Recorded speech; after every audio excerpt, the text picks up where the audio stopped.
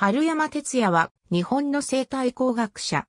九州工業大学大学院生命体工学研究科教授。工学博士。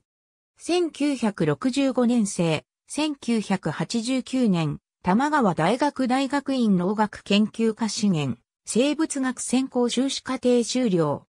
1993年、東京工業大学大学院理工学研究科科学工学専攻博士課程修了。1995年、東京工業大学生命理工学部助手。2000年、東京工業大学大学院生命理工学研究科助手。2001年、九州工業大学大学院生命体工学研究科助教授。2002年4月、英国クランフィールド大学客員教授。国立環境研究所客員研究員。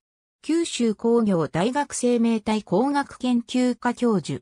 九州工業大学大学院生命体工学研究科教授。2007年4月、物質材料研究機構リサーチアドバイザー。2010年4月、九州工業大学研究戦略検討会議長。2013年5月、九州工業大学教育研究評議会評議員。10月、九州工業大学イノベーション推進機構、副機構長。2014年、九州工業大学生命体工学研究科教授。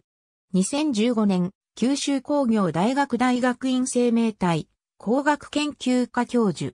2019年1月19日、アンモニアの新しい合成法を開発。ありがとうございます。